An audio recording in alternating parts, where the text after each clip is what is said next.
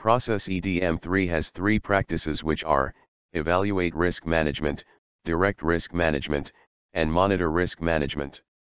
The second practice which is direct risk management, receives two inputs which are, the aggregated risk profile from APO12, and the enterprise risk management profile from external sources.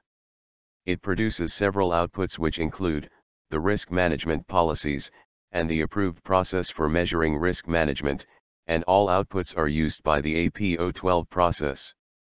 This practice has several activities which include, promoting an IT risk-aware culture, which would enable the enterprise to better identify risks and their potential impacts.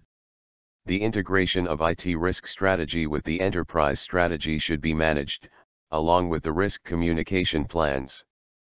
The response to risks mechanisms should be implemented, including escalation principles. Key risk indicators should be monitored, and measured information should be reported. The third practice which is monitor risk management, receives several inputs which include, the risk analysis results, and the results of third-party risk assessments from the APO12 process. The process produces two outputs which are, the remedial actions to address risk management deviations used by the APO12 process, and the risk management issues for the board, to be used by the EDM5 process. The activities of this process include monitoring the risk profile management in relation to the risk thresholds, and monitoring the key risk goals and indicators. If deviations to the risks happen, the causes should be analyzed, and remedial actions should be taken. Finally, any risk management issues should be reported to the board and executive management.